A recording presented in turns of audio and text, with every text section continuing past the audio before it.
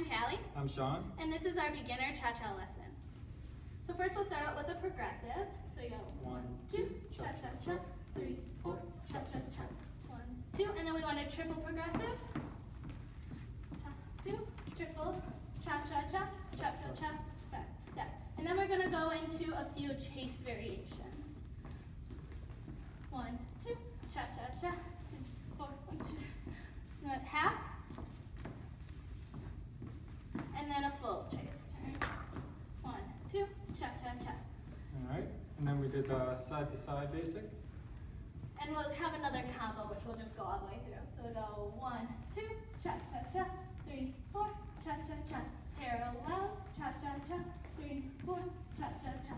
One, two, cha cha cha, three, four, cha cha cha. And crossover breaks. Three, four, cha cha cha. One, two, three, and four, five, six, seven, and eight. And then back into our side to side basic. Thank you. Thank you.